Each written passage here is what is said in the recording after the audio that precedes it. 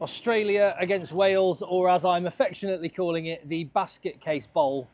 So this week it's uh, the Basket Case Bowl 2 Electric Boogaloo. Let's go.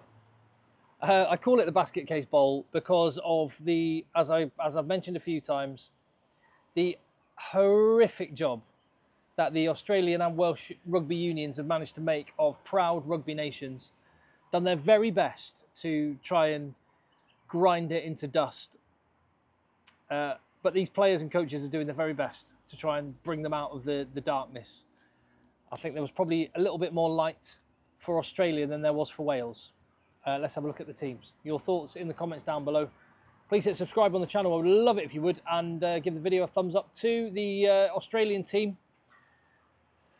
Slipper is skipper once again. Liam Wright with a shoulder injury. That's a shame for him. He was. I thought he was really good last week uh, but not a bad man to fall back on as you skip.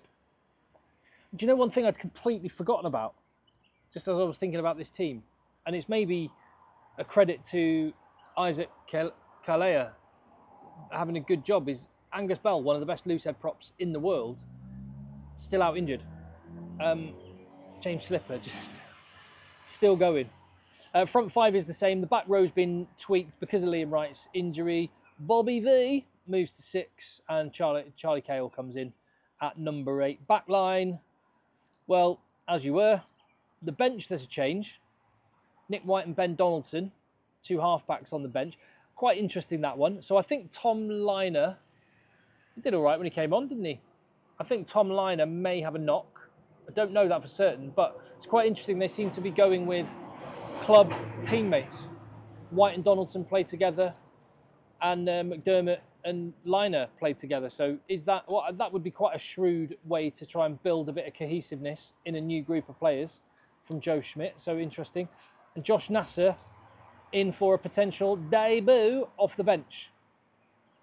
Don't know a lot about him, if I'm perfectly honest, but that is the case for much of Wales and Australia's teams to casual international rugby followers, people who don't watch loads of Welsh regional rugby or Australian Super Rugby, there's a lot of players who won't be especially familiar. Which just uh, that's just where these two teams are at right now. Just one thing on uh, Taniela Tupou. How massive is that guy? I mean, he's always been big, but he's got bigger, hasn't he? I was watching clips of the game again from the from uh, last weekend he's got bigger. I think is that that's a deliberate shift. It's not just that he's been piling on a few uh, unwanted kgs, is it? It seems like a proactive choice because he's slightly less mobile around the park, but destructive at scrum time. I wonder if that's a proactive choice. I mean, I would always want my props win that scrum. In fact, and if you can dominate that scrum first, then everything else is a bonus. Are you listening, England? Um, so yeah, Taniela Tupou was um, was a big positive from last week. I mean, yeah, Joe Schmidt got a win. Seems to have fired up these guys, motivated them. They've got a lot of good Australian qualified players who aren't in this squad through availability or selection. And with this young and relatively inexperienced bunch, so far so good. The context being they're playing Wales, so you cannot totally judge where they're at. I will um, have a look at Wales. Just to jump back, thank you to New Zealand do this as well, and Australia, and South Africa, and England, and Scotland. Everyone basically does the nice. I mean, Australia do the conventional one to fifteen numbering system. In fact, one to twenty-three, top to bottom 20, numbering system.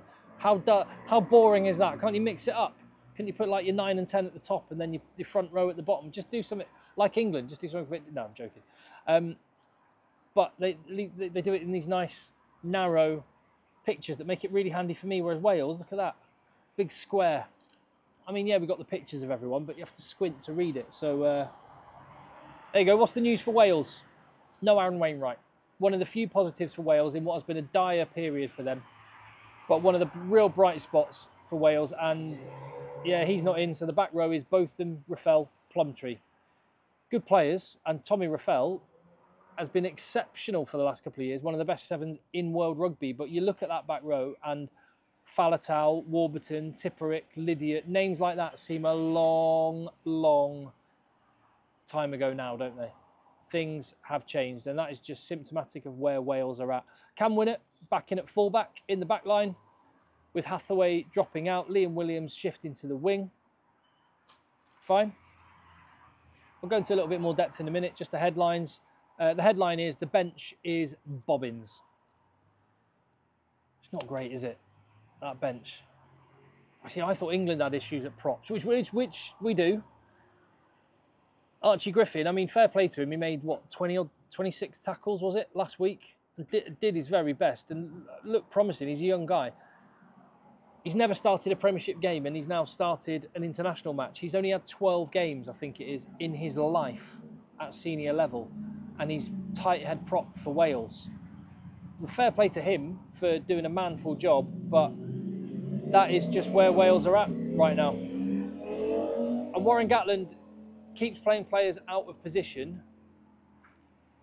And they've got maybe the form number eight in Welsh region, regional rugby back in Wales, not been brought on the trip, and a few other people like that as well. But positives, let me try and have a glass half full. Positives.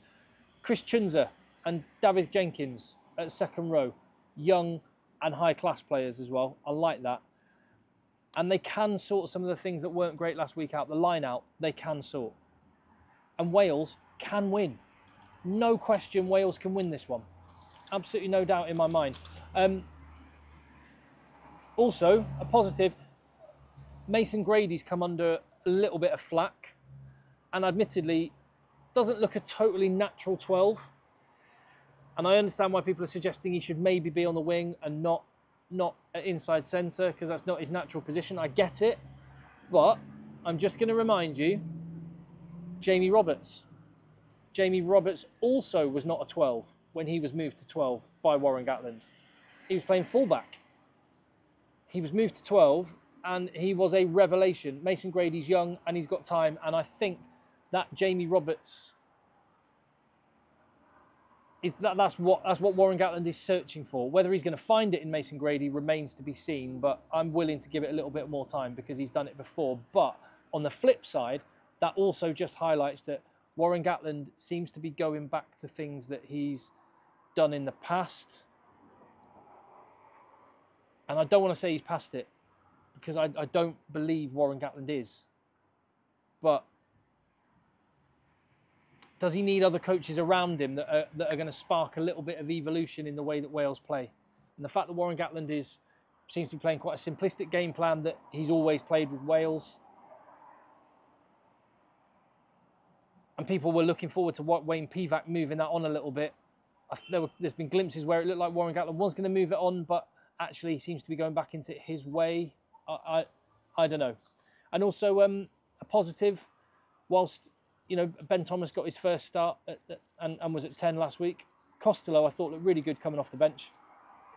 And um, and he, he's, on the, he's on the bench once again. In fact, sorry, I, there, there is the bench for you. Corey Hill in 2024. Who'd have thought it? Um, there you go, there's your Welsh team. Tell me what you think in the comments down below. As for a combined selection, that's what I've gone with. Uh, split four and four with, with, with the pack. Split four and three with, with the backs. I I think Australia will win this one. I think they'll win by six points, uh, seven points. But I think Wales absolutely can win. They've got really good players. Well, they've got some really good players. I'm just, I'm glad these two teams are playing each other because they're they're well matched right now. That's, uh, that's, that's the diplomatic way of saying they've both got issues. They're well matched. I hope it's a good game, and I want both of these teams to get a lot, lot better. So hopefully this is another step on that journey. Thank you very much for your support on the channel. Really appreciate it. Um, it's awful here in Durban, as you can see, absolutely terrible. It's uh, awful. So um, yeah, from the South African winter. Uh, I will see you on the next video.